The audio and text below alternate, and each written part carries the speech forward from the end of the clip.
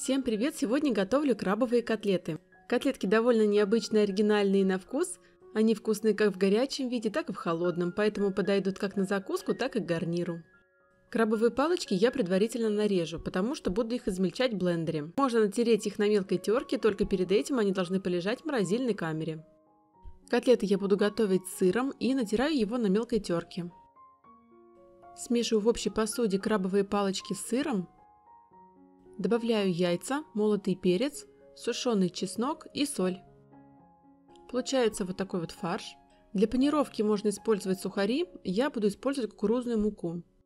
И влажными руками формую небольшие котлеты. Обваливаю их в кукурузной муке. Котлеты я буду обжаривать с двух сторон на среднем огне по 3 минуты с каждой стороны. У меня чугунная сковорода, поэтому внутри котлета успевает прожариться без крышки. Котлеты можно готовить без сыра, либо с добавлением какой-нибудь зелени. Очень вкусные оригинальные крабовые котлеты готовы и можно подавать их к столу. Подписывайтесь на канал, смотрите другие вкусные рецепты. Удачи вам и пока!